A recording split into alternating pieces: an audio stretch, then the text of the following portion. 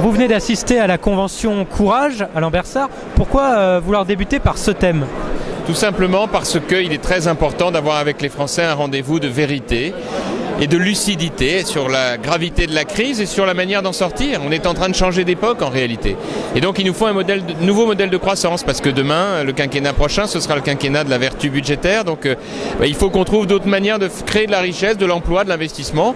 Et l'idée, c'est de faire du made in France, voilà, de réindustrialiser la France en assouplissant les 35 heures, en allégeant les charges et en même temps en veillant à ce que euh, notre modèle social soit préservé et en encourageant les PME à produire et à exporter. Voilà le programme pour demain et c'est à ça qu'on travaille, bien loin des promesses socialistes qui visent simplement à augmenter les dépenses publiques.